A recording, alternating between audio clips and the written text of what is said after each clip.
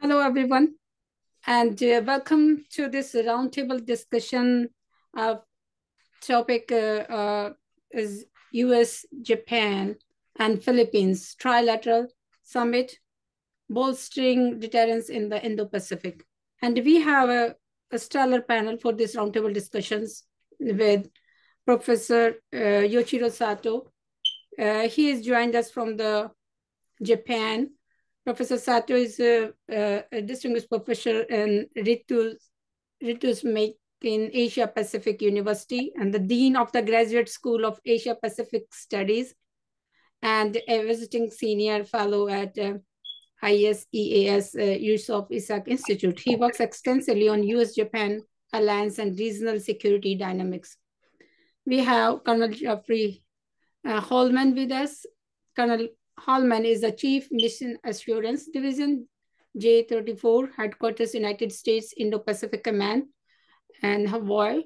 As a J34, he is responsible for establishing policies and procedures to implement anti-terrorism, critical infrastructure protection, and performance readiness and integration across the Asia-Pacific region.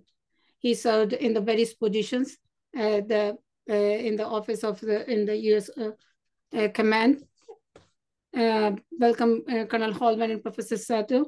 And next we have Professor Renato Cruz de Castro. He's a distinguished professor at the Department of International Studies, De La University, De La Salle University in Manila, and uh, holds the Dr. Aurelio Calderon Chair in Philippines American Relations. He extensively writes about the Indo-Pacific security and the U.S. Philippines uh, relations and Southeast Asian nations. Then we have uh, Jose, Mr. Jose Custodio.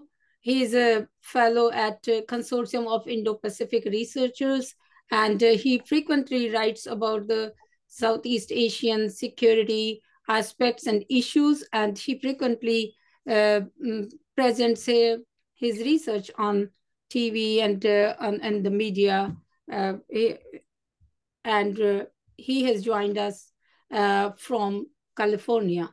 So welcome you all. And this event is organized and hosted by the Consortium of Indo-Pacific Researchers, uh, policy and research organizations based in USA. And I'm Indu Saxena, uh, the Chief Operation Officer of the consortium at the consortium. So welcome you all. And uh, this roundtable discussions is on this uh, on the important topic that we have been talking around in the last week, uh, that is uh, regarding the Indo-Pacific security. It was a very important week. So President Biden hosted two pivotal leaders from the region, uh, President Kishida from Japan, and uh, and uh, and President Marcos from the Philippines. And what is culminated that the joint vision statements from the leaders of the Japan, the Philippines, and the United States. Uh, this is the first our trilateral summit uh, in uh, Japan, US, and Japan, and Philippines. And uh, uh, just to start this discussion, uh, the first question is this, we would like to have two main takeaways of this summit regarding both regionally and globally. How our experts uh, see this summit. Um, and so I would like to start with Professor Sato. Professor Sato, please.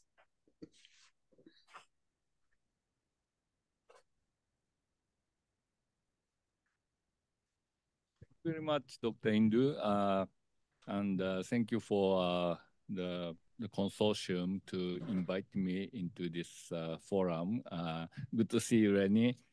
Uh, first of all, I think this uh, trilateral uh, meeting was uh, very significant in a sense that the close bilateral alliances, respectively between U.S. and Japan and U.S. and the Philippines, uh, forged into uh, even closer uh, trilateral partnership, not quite trilateral alliance, but trilateral partnership.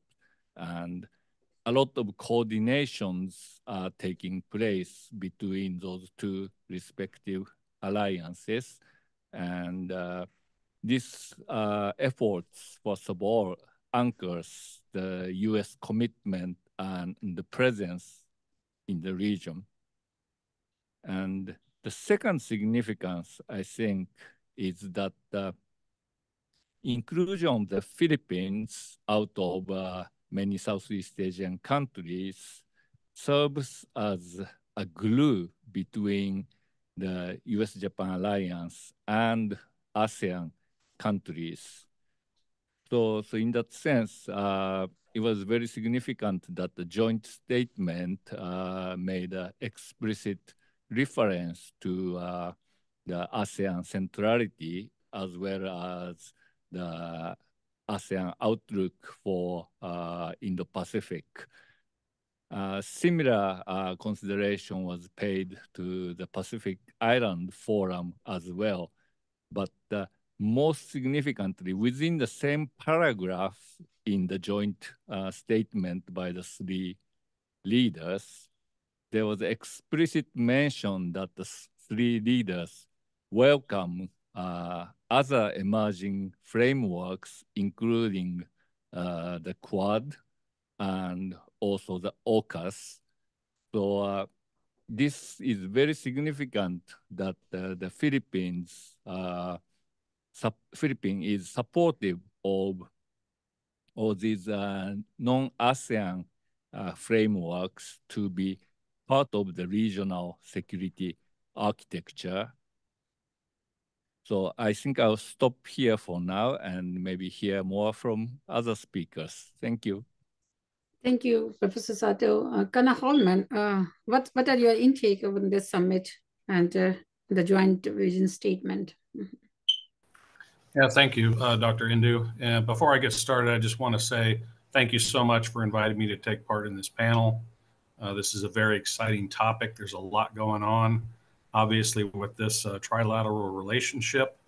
Um, and anything that I share with you today is open source off the internet. Um, and, I, and, my views don't necessarily represent uh, my command or the Department of Defense.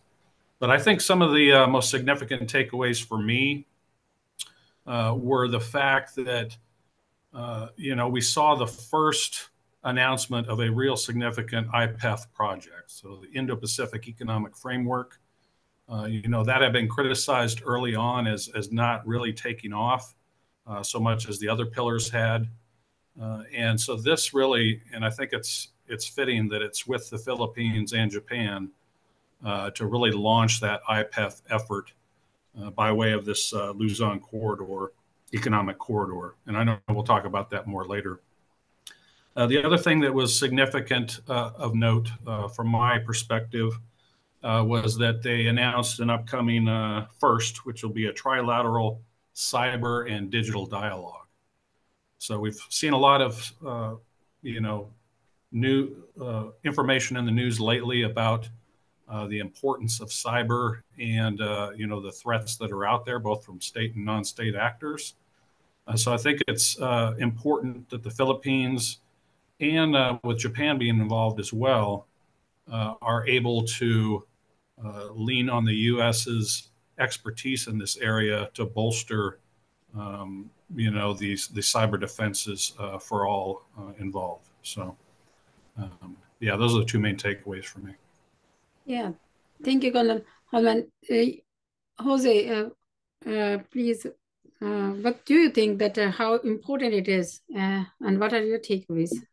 My, my takeaways basically is that um, today in this year we are commemorating 80th, the 80th anniversary of a number of World War II uh, battles, okay? Meaning to say that um, uh, Leyte Gulf landing, October of uh, um, October 1944. So now it's 2024. So it's 80 years later. So who were, what were once enemies are now close allies. So that's a very big, and it's it's the evolution of Japan from a state that was uh, only um, that was um, constrained to operate within its own borders to now that is projecting. But it took a long time for that, okay, uh, for that to happen. And um, when I was still working in the Philippine government, uh, almost uh, like uh, 15 years ago or almost 20 years ago, uh, there were already steps that the Japanese were taking to reach out, okay, to its uh, um, uh,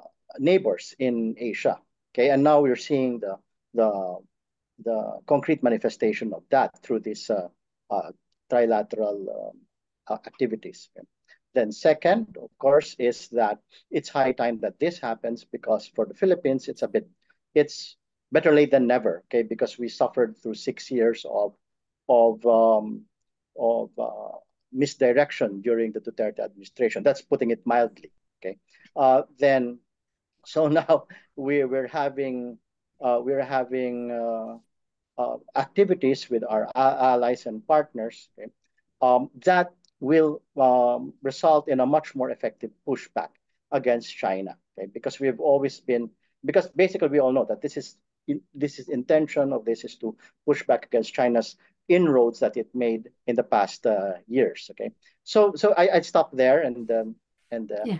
uh, allow the next person to. Okay, yeah, sure. Uh, thank you. And uh, Professor Renato, we want to hear uh, from you too. Mm -hmm. Yeah. Good morning. I'm currently in, right now in Singapore. So uh, yesterday, I was reading a statement from the Department of Foreign Affairs, which is, of course, a uh, in a way a reaction to a stronger statement, strong statement that was issued by the Chinese Foreign Ministry criticizing the Trilateral Alliance. So now you have this tit for tat, and of course, this reflects the fact that the Chinese are very much aware of the implication of this trilateral arrangement. So I'll just basically mention the implication. Number one, of course, is that you have the creation of what I call a link between two alliances, you know, hub and spoke system. The Philippine-U.S. Mutual uh, Mutual Defense uh, Treaty, and of course the 1961 U.S.-Japan security relationship. So now you have, of course, a triangular. It's not an alliances. I agree with uh, my friend uh, Sato-san. It's a security partnership, but this is a security partnership that has been evolving. So what are the manifestation of this evolution? Uh, you go back in time during the time of the Arroyo administration, when there was, a, of course, uh, opening made by the Arroyo administration towards China. This caused, of course, a concern on the part of Tokyo. So this is the first time that Tokyo raised the prospect of a security dialogue.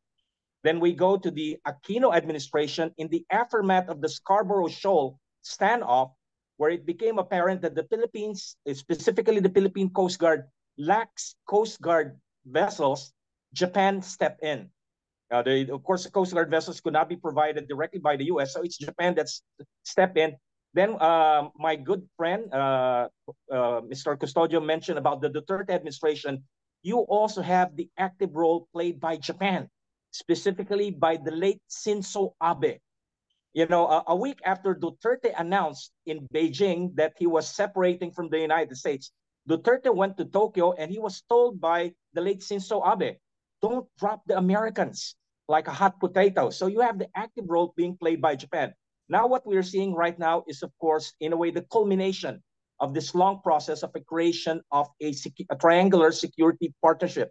Of course, you don't have this kind of relationship if you don't have any exigencies in mind. Course, the first one is the South China Sea issue, and that probably the second one is, of course, the Taiwan Straits. Uh, just a last point, uh, sort of a takeaway. Uh, Sato-san mentioned about ASEAN.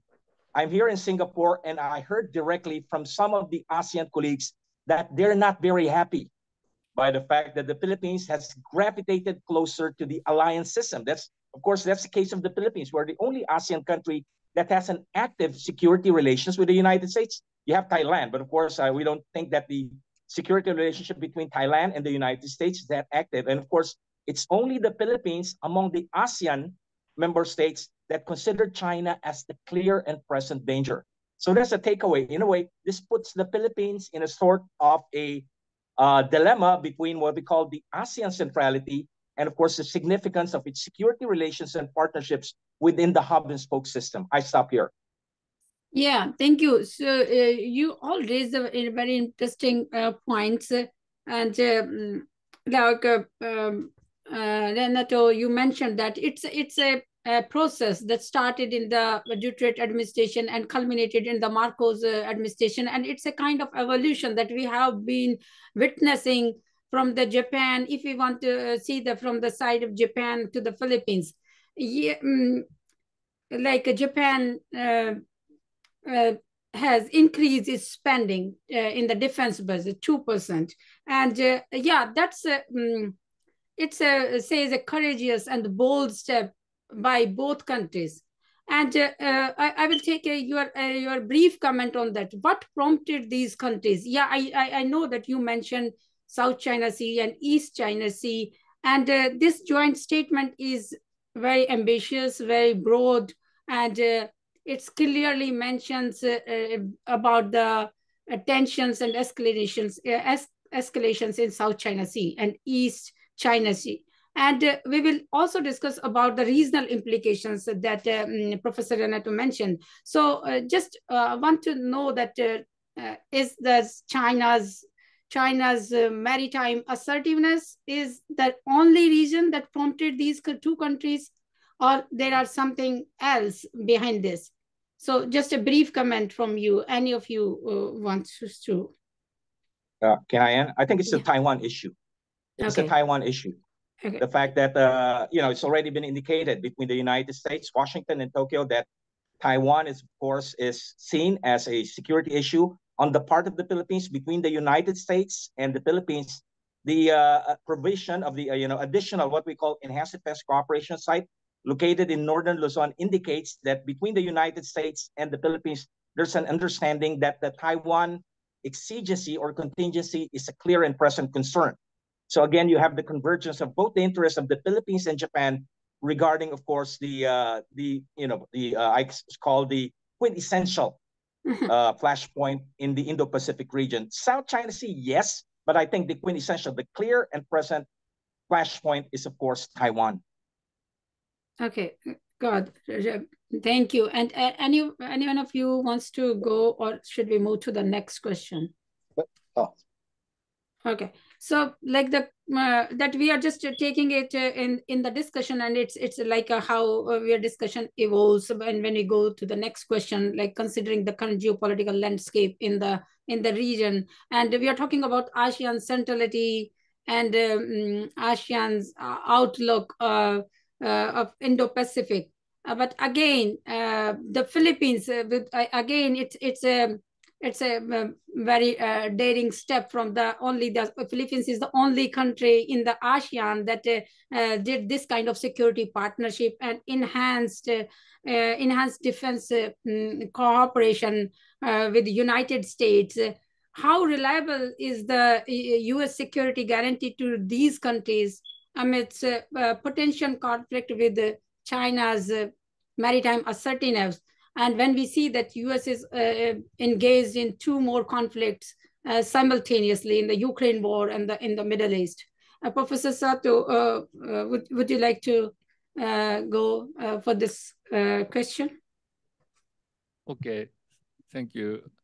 I think when you're paying too much attention to the political leadership in the United States, especially the president, then uh, sure the the Donald Trump period uh, uh, caused a lot of anxiety among the agents and U.S. Uh, commitment uh, was uh, was shaky because of Trump's kind of isolationist tendency and the America First rhetoric.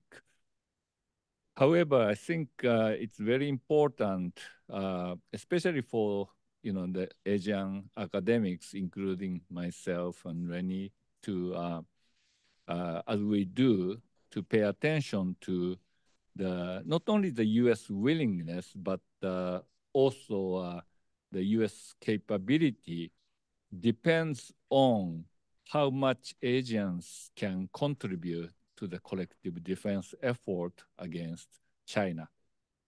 After all, the security in the Western Pacific region is not only for the US security interests, it's definitely for Asian security interests as well. And if Asian countries are not doing enough and perceived as such by the US, then it would be more difficult for the US leader to commit the United States to the defense in this region, although it is still a critical uh, interest for the United States, it becomes politically difficult for the US leaders. So in that sense, I think uh, uh, this trilateral coordination is uh, a step forward to show to the United States that the Asian countries are serious about defending uh, uh, defending themselves and pay the due cost of this collective uh, defense effort. And since uh, Rennie referred to Taiwan, I think this is very important that the joint statement, including the Philippines, made an explicit reference to their shared concern over the Taiwan Straits. I think this was a step forward compared to um, some year earlier when the the enhanced defense cooperation agreement uh, between the U.S. and and the Philippines opened uh, some Philippine bases to the access by the U.S. forces, but those bases were primarily for uh, deterring China in the South China Sea and away from Taiwan. So from that time, I think this joint statement made a small step forward for committing the Philippines uh, to take some part in the Taiwan Strait contingency.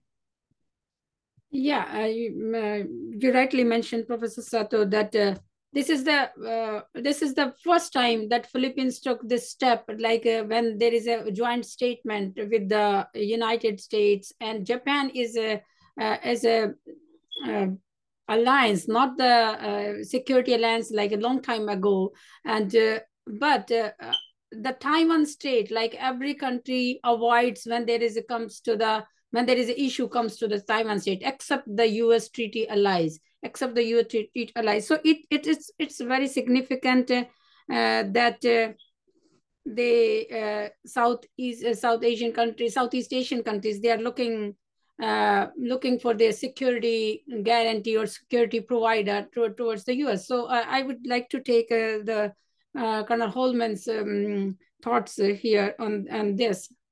Colonel Hollman. Yes, thank you, Dr. Indu. Um, certainly, I think uh, we've heard in a number of uh, venues that each of these bilateral and trilateral um, agreements represent an ironclad commitment by the U.S. Uh, and I think we put our money where our mouth is. You know, we've been uh, a defense partner with Korea for decades, Japan decades as well.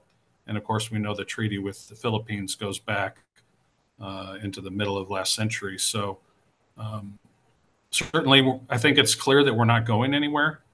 Uh, we have also got other major allies and partners in the region that are counting on us to help counterbalance, uh, you know, China's assertiveness.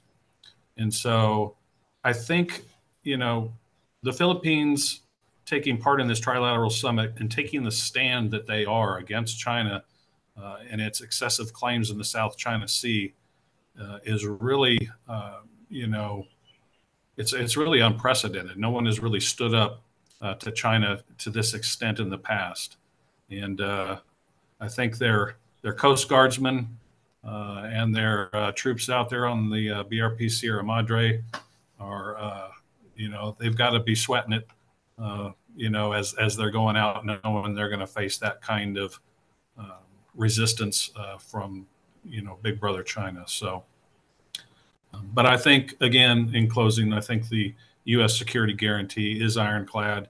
I don't see us going anywhere. Thanks.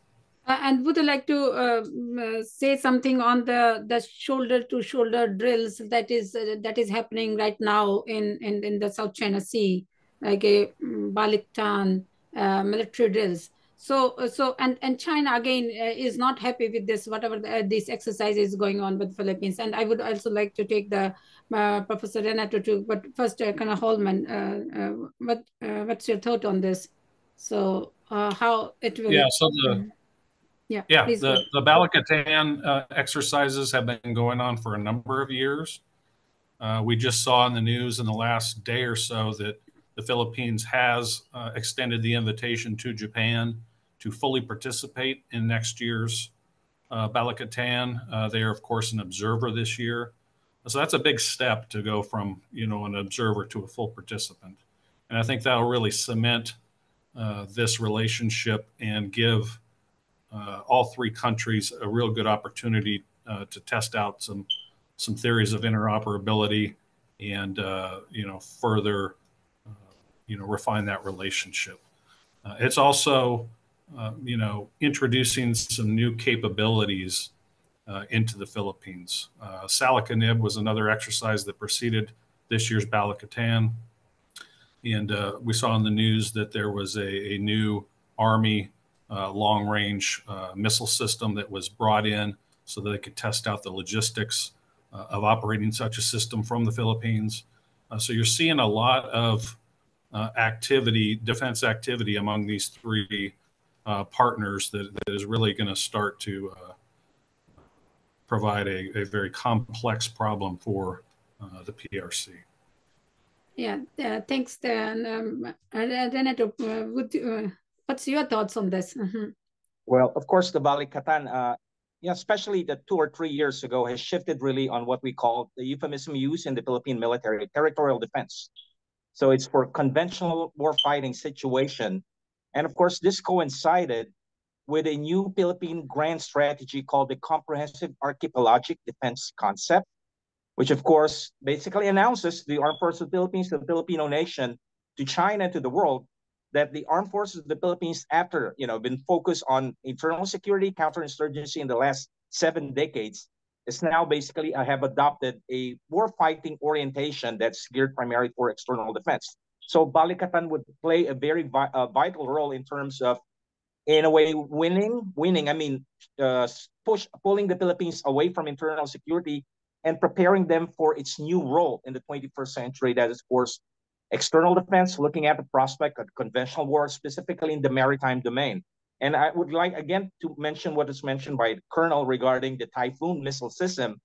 This is, of course, not just new. It represents a new generation of intermediate range ballistic missiles that, of course, will be possibly introduced in the first island chain and will, of course, play a vital role in ensuring not only the security of the Philippines, but Taiwan, and of course, even Japan, creating what we call the archipelagic defense concept that would link the security of Japan, Taiwan, and of course, the Philippines. Thank you. Uh, Jose, please. Uh, for me, when it comes to the cons, the aspect of uh, of uh, the security guarantee of how reliable the United States okay, is, well, uh, usually um, for example, in the Philippines, those who are loudest in questioning uh, the reliability of the United States are ironically those who also want it to go away, you know.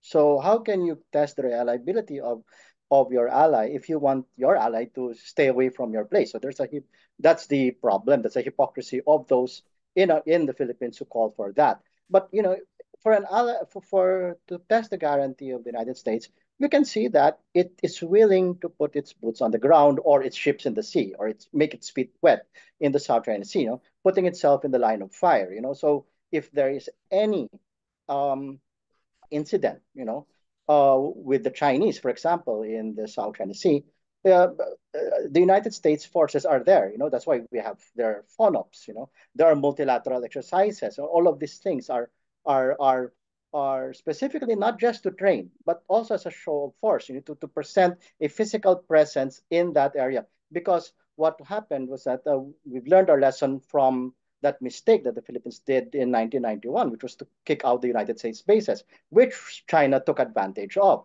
Okay, and uh, now um, um, the only way to push back is to establish a physical counter um, balance to that, and that by itself is when we see the Americans willingly doing that.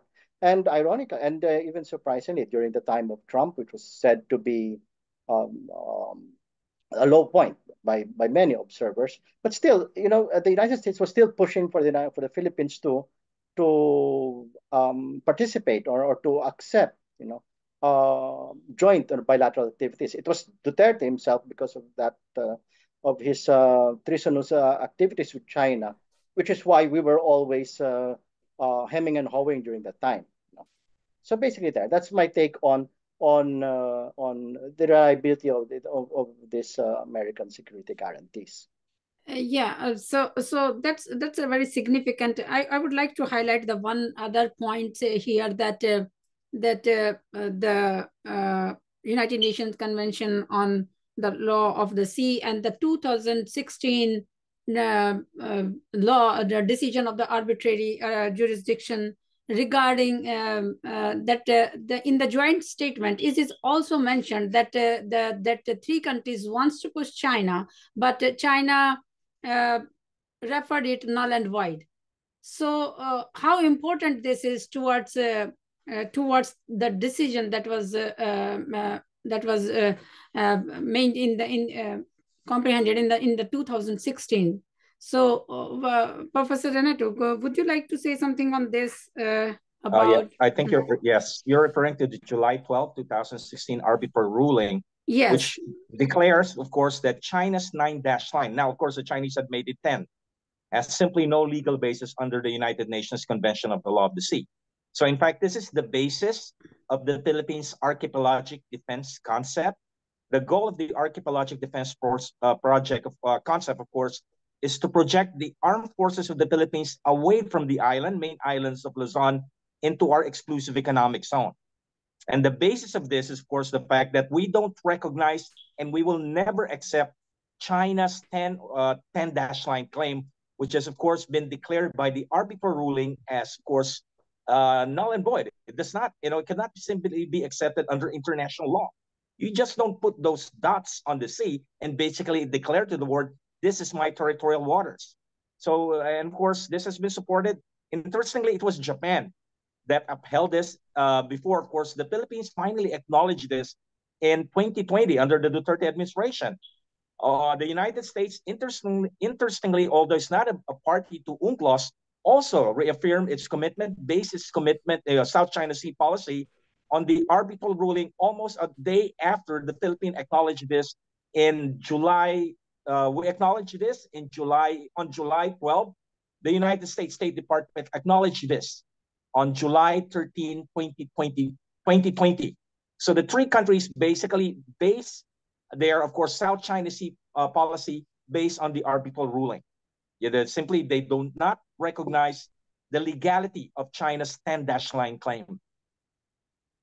Uh, right. Uh, so uh, this is like uh, we uh, just um, conclude on this defense capability of the three countries like they have strengthened like the bolster this security cooperation during with, with this joint statement mentioned like providing the patrolling vessels to the philippines and the japan is like invested um, in 2022 and 23 um, in in philippines also like like let's go to the economic point like when um, is is the first time the indo-pacific economic framework mm, the first uh, partnership uh, corridor and in infrastructure and in investment, the Luzon corridor, how important, how strategic, um, what is the strategic importance of this corridor? And uh, uh is this the alternative to countering China's BRI project and uh, and what, how, how successful it is?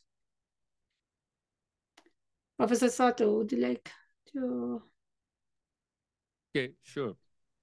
Yeah, I think the this is the first concrete and tangible uh, the project coming out of uh, IPEF, and uh, you know this Luzon corridor is uh, very significant in the sense that uh, it offers uh, alternative, very viable alternative to the BRI Chinese-led financing of infrastructure development in Southeast Asia.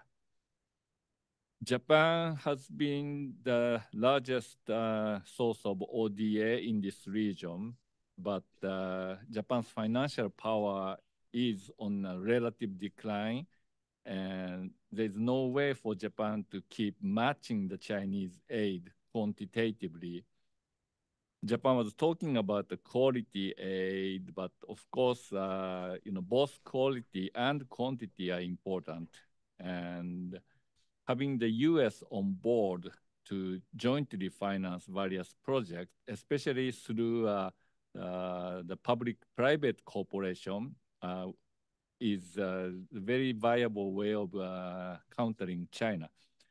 The U.S. has been uh, very much uh, private financing oriented, but you know this ideological difference between Japan and the U.S. on aid has significantly narrowed in recent years and uh, the policies of the two governments are, are, better coordinated today.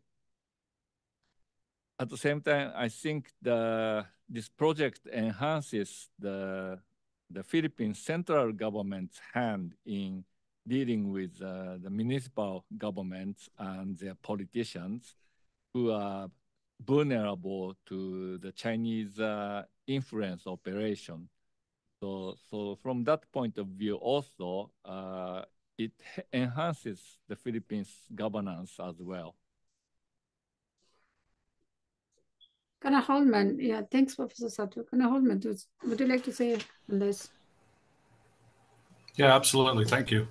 Um, so I think it certainly uh, provides a, uh, a, an attractive alternative, uh, in particular uh, to China's, uh, you know, digital Silk Road.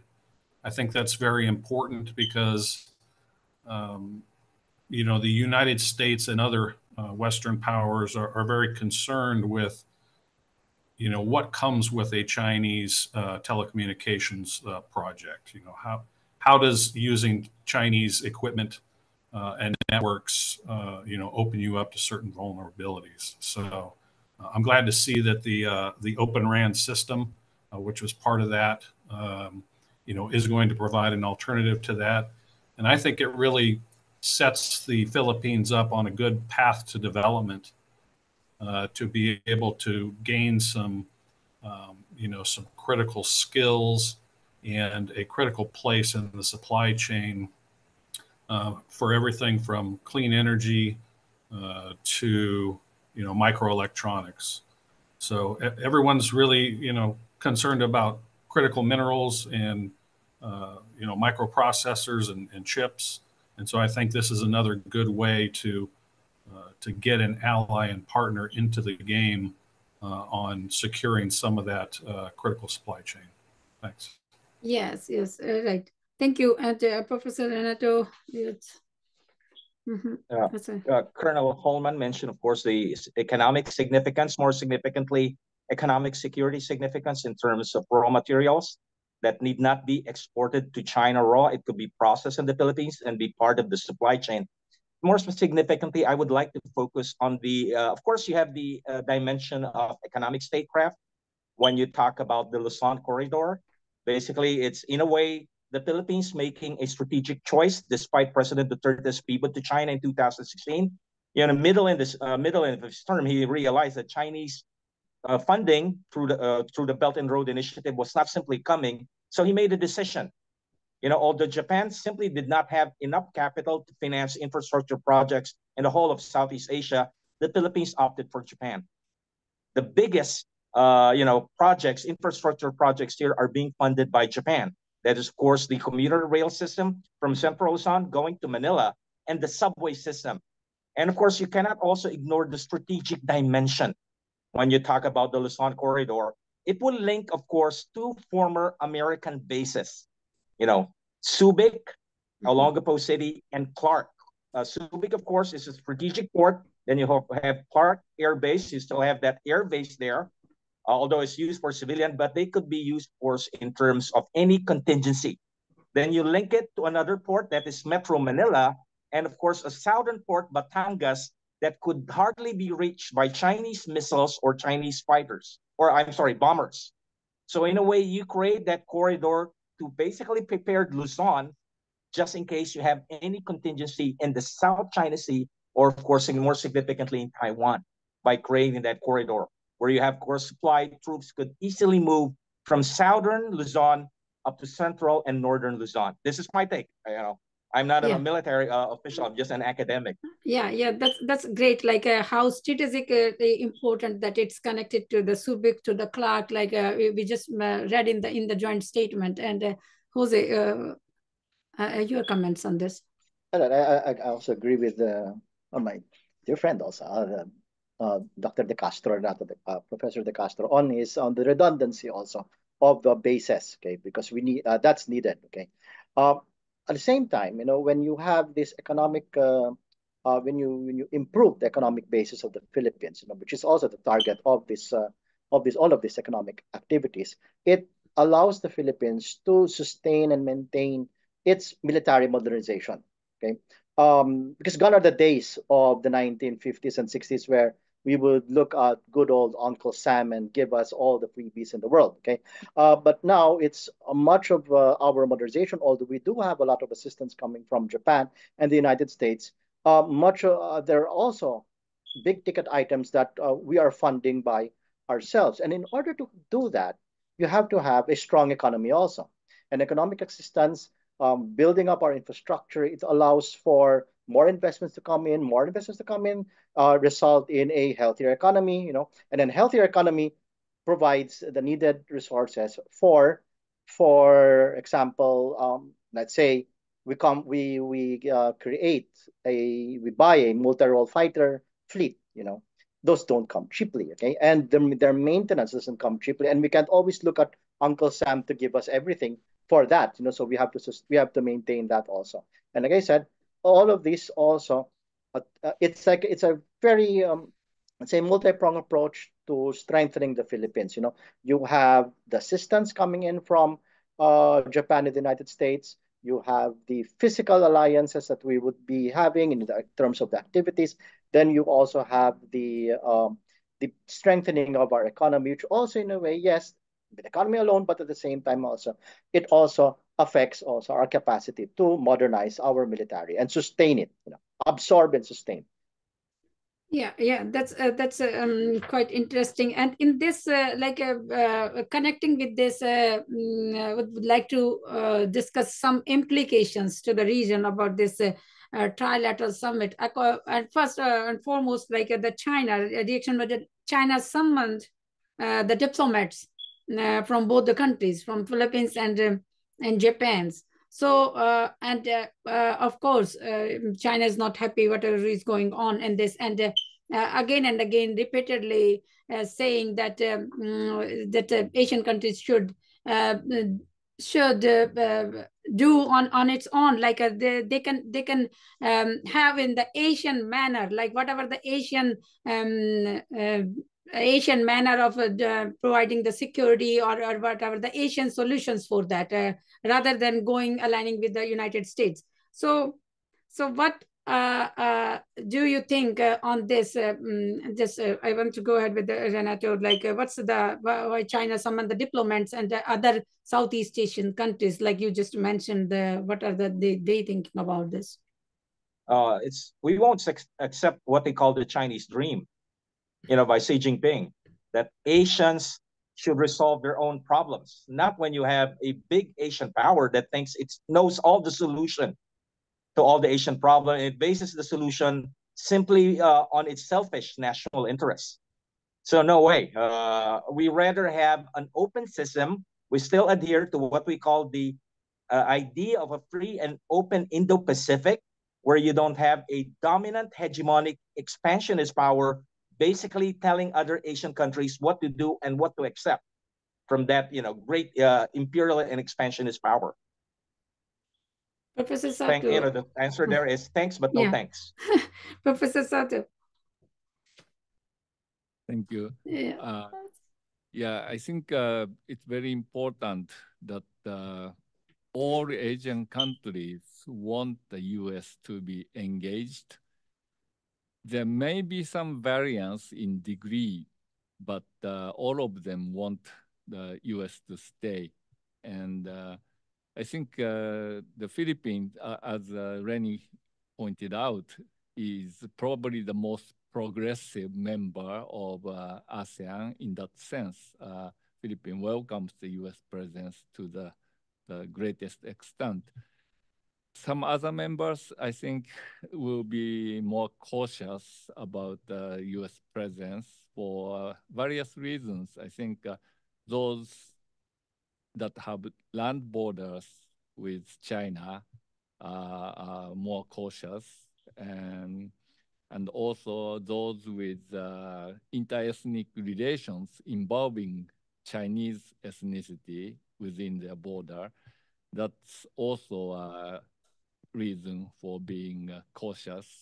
And the Muslim populations reason to be cautious with a closer relationship with the United States. And so, so in that sense, uh, you know, countries like Vietnam, you know, with land border with China, is very cautious uh, with the uh, U.S. and despite uh, the recently upgraded uh, comprehensive strategic partnership between the U.S. and Vietnam, uh, immediately after that, uh, Hanoi was, uh, you know, preparing a nicely uh, decorated welcome for Xi Jinping. So, so in that sense, I think Vietnam's balancing efforts will continue, and and for that, Vietnam is not likely to uh, expand, for example, uh, the base accesses. Uh, you know, the U.S. Uh, ship visitation to Vietnamese ports will be you know, continue to be uh, limited to a very small scale. Uh, Malaysia has been doing a lot with Americans, but they don't want to talk about it. they they will continue doing quietly, in in my view. So I think uh, we'll see some variances among ASEAN countries yeah, you rightly mentioned about Malaysia. That uh, today I was uh, I was just reading the Malaysian foreign minister said they are unfazed by the U.S.-China comp competition, but appears to be benefit from both of the both uh, uh powers.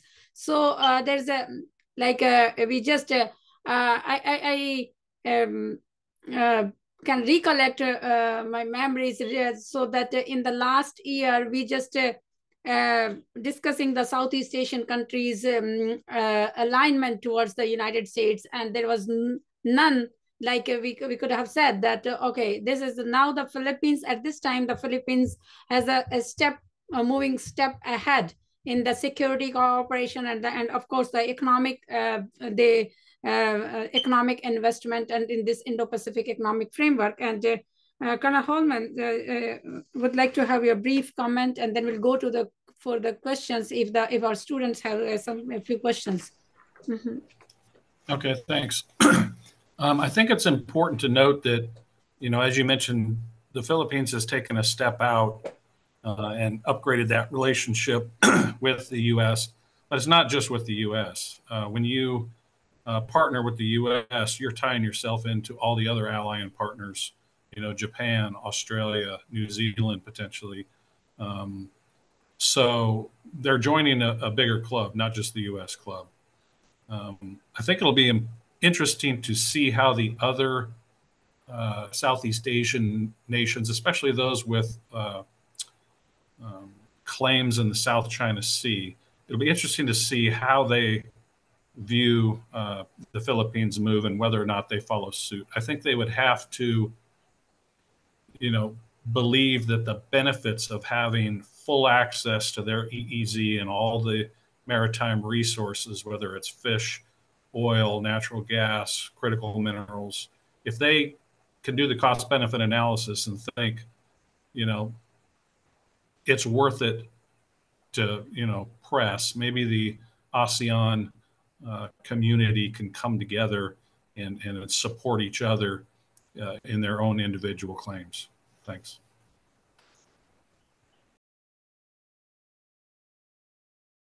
Jose, you, you want to comment on this, Jose? Uh, for me, um, what we're discussing right now, what we're seeing right now in, uh, in the, the, trilateral agreements and all of this, um, these are things that are, how do I say this? These are um, uh, this should have happened 2016, you know, in a sense that in terms of the Philippines upping its uh, participation in the internationalization of the issue. Okay, uh, but of course, we again we had that that person called Duterte, you know, and that uh, created all of the problems, you know. But now we're back again, you know, and I think uh, the Philippines has its uh, work cut out for it in a sense that um, uh, uh, it will have to build it, it'll it uh, it uh, through its diplomacy talking with its ASEAN part um, um, partners you know it will have to build that consensus that will be supportive of uh, what the Philippines is doing with its triad. It's the bridge between that uh, you have that trilateral uh, partnership and then with ASEAN. So I see the Philippines in that role doing what it should have what should have been done uh, more uh, more than six years ago, it, right following what happened in the arbitration victory. That was that the momentum was lost because of what Duterte did. You know? But now we're on the right track. Hopefully, uh, this is sustained after 2028. Just hopefully. All right. Uh, so uh, thank you, everyone. And uh, now I would like to move towards the audience. If they have any questions, please, uh, please go ahead. Uh, and Chris, you have some question uh, you po posted in the chat. Would you like to ask the question? Uh, like sure thing. Mm -hmm. Sure thing. No, this has been a very, very provocative discussion, and I appreciate everybody's perspective. Um, one of the the question that I had, I put it in the chat, but I'll summarize it here. This is, I note this is not the first trilateral summit we've had. The U.S., South Korea, and Japan had a trilateral summit not that long ago too, which was another major step, just like this one. And so I'm curious, um, you know, looking at the big picture and how this trilateral summit of last week fits into the, you know, bigger picture, the wider web of alliances. You know, where do you put this alongside that summit? Do you see any relationship or any potential relationship between the two? Is the timing purely coincidental? I'm I'm curious what anybody's perspective on that.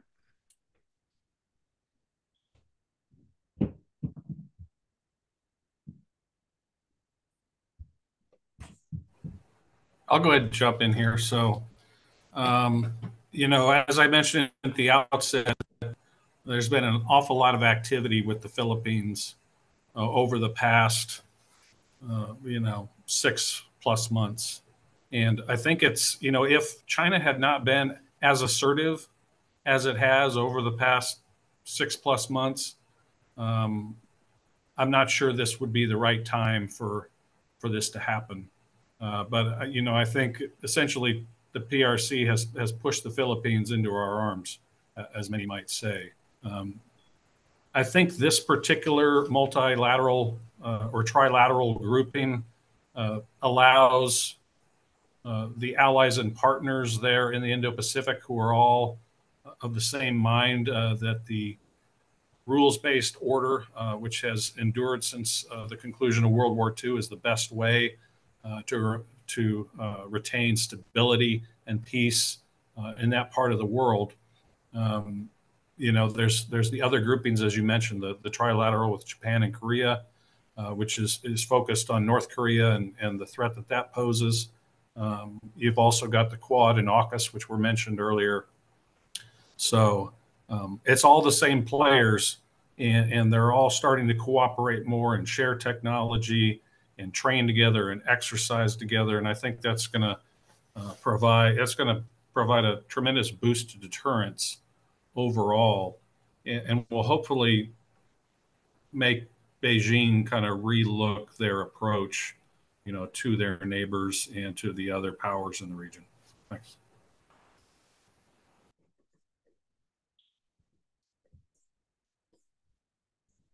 Uh, uh thank you. Yeah, uh, anyone has a question? Uh, audience, please, uh, do you have any question? Uh, yeah, uh, so thank you so much for all the great views on the trilateral summit between the US, Philippines, and Japan. Uh, my question is mainly regarding the US capabilities and mainly concerning the logistics and fundings and feasibility. Uh, we can see that two major allies, uh, US allies, namely the Ukraine and Israel, are already involved in ongoing conflicts. And now we can also see Iran emerging as a major threat to the US interest in the Gulf region, especially with its improving military or missile technology with collaboration with Russia and China.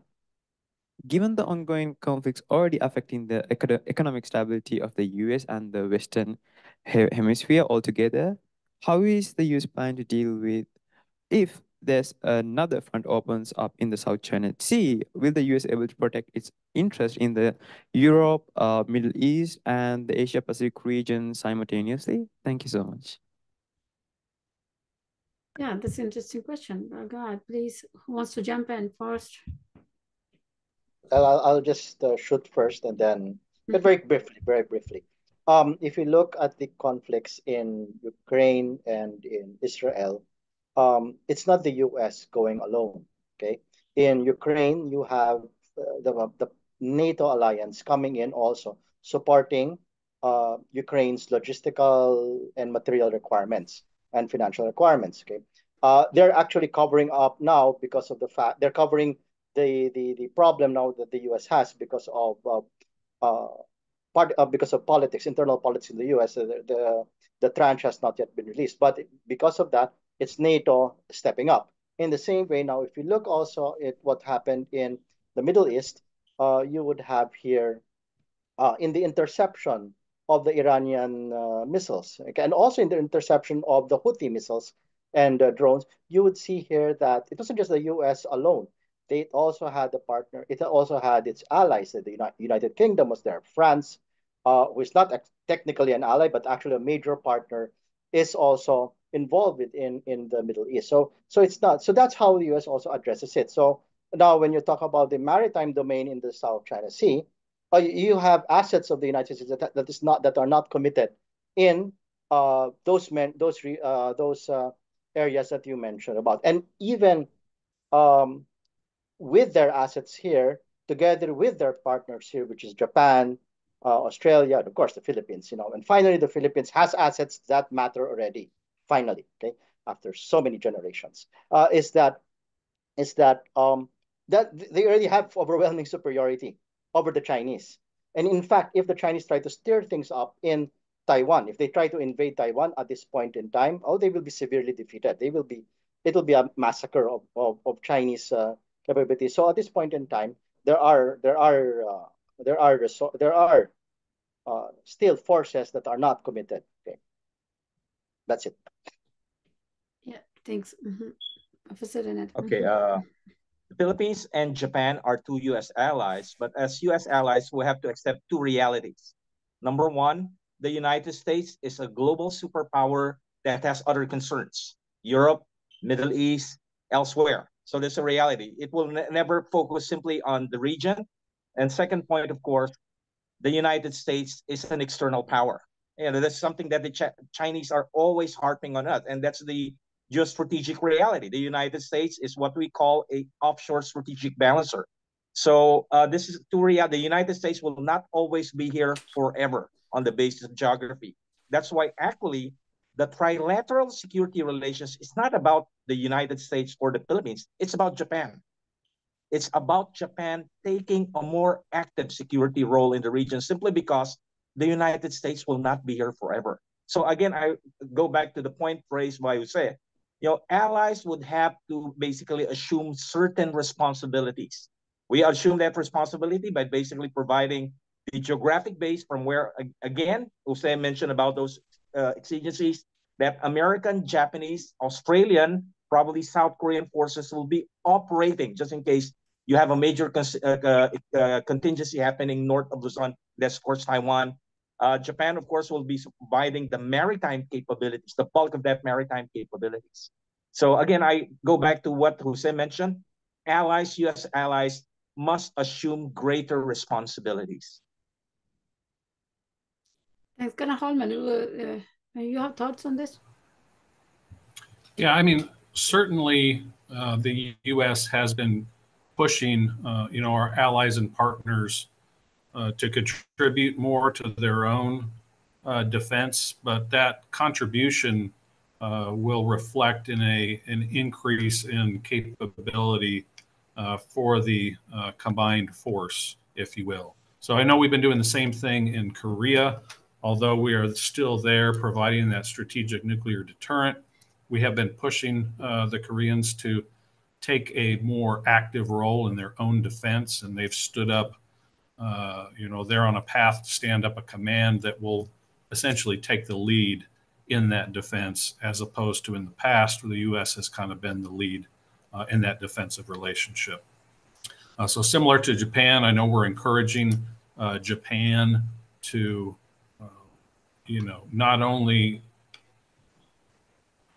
you know engage directly with other Southeast and South Asian nations, uh, but we want to make sure that it's not just the U.S. Uh, that's saying, "Hey, this rules-based international order is the best way to go." I think we got everybody, uh, you know, in that region agreeing that that's the best way to go.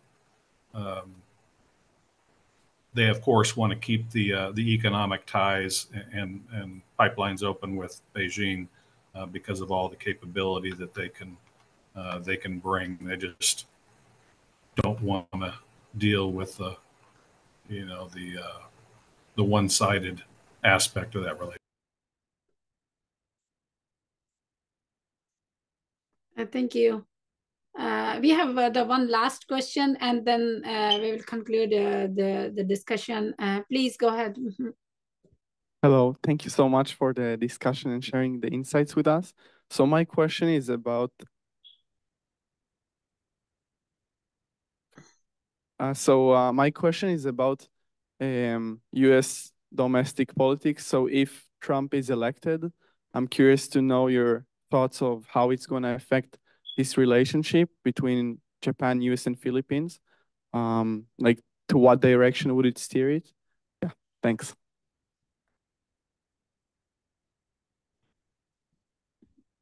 Yeah, we maybe uh, who will go first in discussion? Colonel Hollman? Yeah, I'll be very brief. Um, we've seen this same concern, you know, over in Europe with NATO, uh, you know, asking themselves what will happen if we have a change in administration.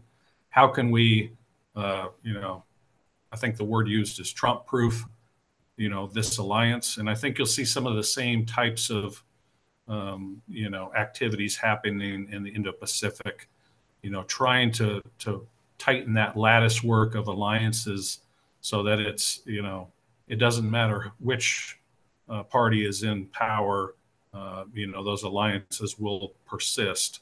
They may not blossom uh, as they're blossoming now uh, but they won't uh, be dismantled i don't think anytime soon. Yep right uh, anyone wants to jump in on that okay so so that last question that we have from the one most audiences there so please go ahead uh, thank you very much for giving me an opportunity to ask you a question. I'm very appreciated to join here as an APU student.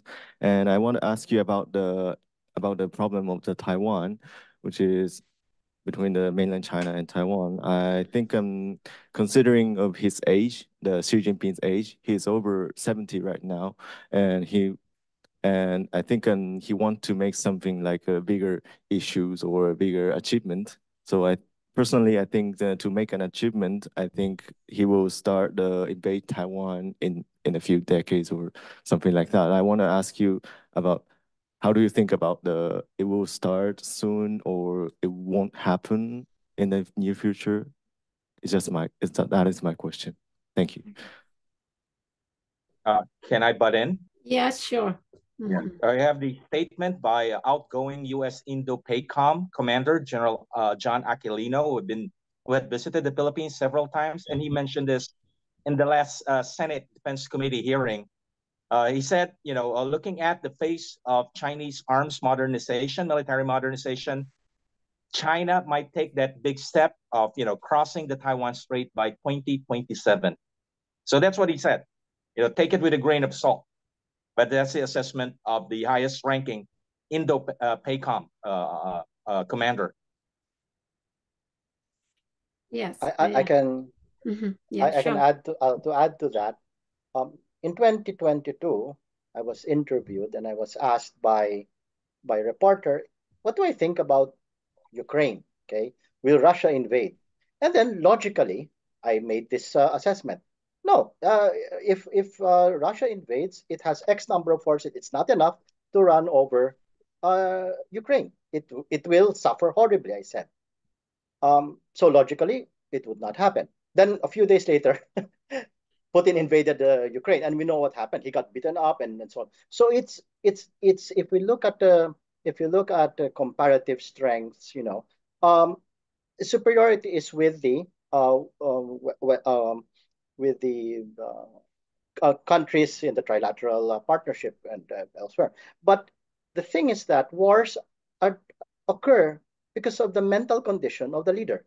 Okay, and at this point in time, we're not really sure what is the mental condition of Xi Jinping. You know, in the same vein that uh, what is the mental, what was the mental condition of Putin, and then with with without looking at logic, he invaded um, uh, uh, Ukraine. In the same vein, um, Xi Jinping might just throw uh, caution and logic in the wind and invade Taiwan for whatever purpose. Maybe it's because he really wants to secure Taiwan, or maybe there's something internally that has to be deflected. In the same way that the Argentine junta uh, invaded Falklands because they had an internal problem going on, which they wanted the people to be distracted from. Thanks. Uh, Hollman, you wanted to you want to say something?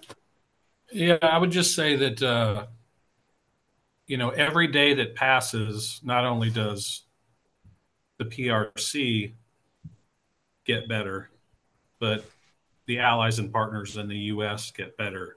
Um, you know, in that potential future contest. Um, so I think the deterrence is really what is going to hopefully uh, prevent a conflict. Um, and and really, I think we need to to uh, to all understand that, you know, the PRC has a much more difficult challenge ahead of them crossing the Taiwan Strait and taking Taiwan than say, you know, Putin did uh, on a land grab uh, in Europe. So uh, it's a much more logistically challenging uh, feat to pull off, and and really the consequences of failure are regime, you know, the end of the regime. And that is, of course, the CCP's most dear and prized, uh, you know, attribute is that that they exist, and uh, you know, losing or or coming up short on Taiwan uh, would certainly threaten that. Thanks. Uh, thank you. Um, I, I, I think that the last question is. Uh, um, of that uh, interesting and the important so that will, will let us keep thinking on this and issue will uh, what are the new developments is happening in the trilateral alliance and and in the wider indo-pacific. So we conclude this uh, um, discussion here and um, i would like to say that the views uh, presented here are personnel should not be constituted to any organization and institute. And I would like to thank from the on behalf of the consortium, I'd like to thank each uh, uh, panelist and speaker, uh, Professor Renato, Professor Sato, Colonel Hollman, and Jose. That's a very interesting discussion. And thank you very much uh, for your time. And, and thank you, audience, for uh, being the part of this discussion and uh, putting the, very interesting question there.